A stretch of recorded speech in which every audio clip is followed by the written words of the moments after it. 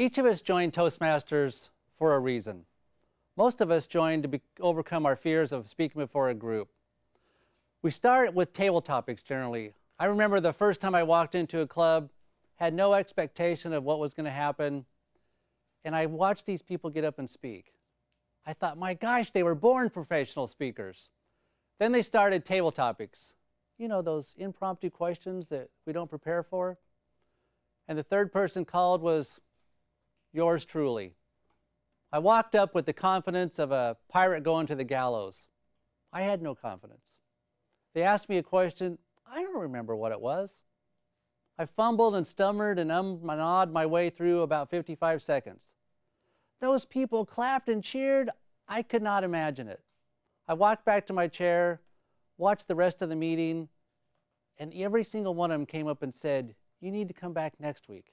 It gets easier each time. I found that to be true. Tevis Thompson was a member of that club that I joined. And after my third speech, he came up and asked me, Tod, what message are you trying to give your audience? I'm not trying to give a message, Tevis.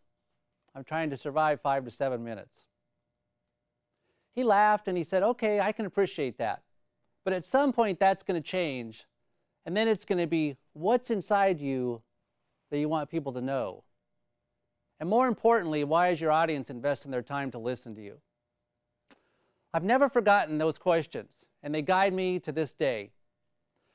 Then he suggested I run for club office. I became president, and then it was on to district leadership. Because he said you can grow more and you can have influence on people and speak in front of new groups.